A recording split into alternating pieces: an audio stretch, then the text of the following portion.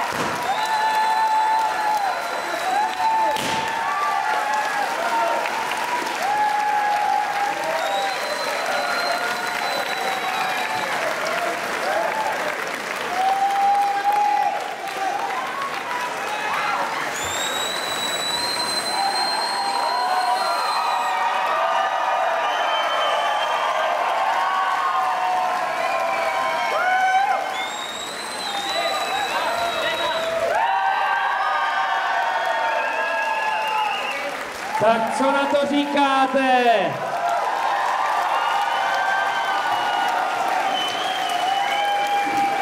Opravdu není co dodat. Úžasné